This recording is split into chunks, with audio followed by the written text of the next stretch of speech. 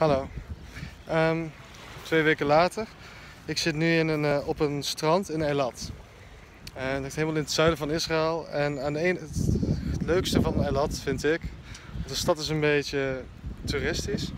Het leukste van Eilat is dat er hier achter mij zie je Akaba liggen. eh, met het Jordaanse gebergte. En aan de andere kant, waar net de zon is ondergegaan, zie je het Eilatgebergte liggen.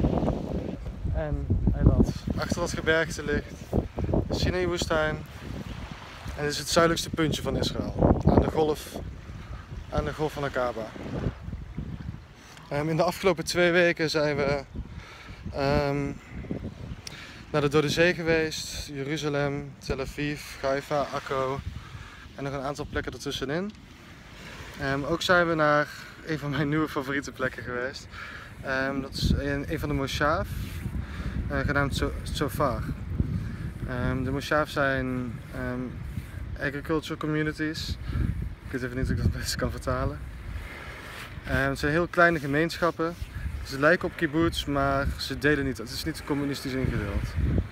Het zijn groepen mensen die in het midden van de woestijn, bij de Jordaanse grens, ehm, bij de Jordaanse grens eh, gemeenschap opzetten. En daar samen leven om de woestijn te blijven settelen. En de Moshav is, het- uitzicht loopt op- midden over de woestijn heen.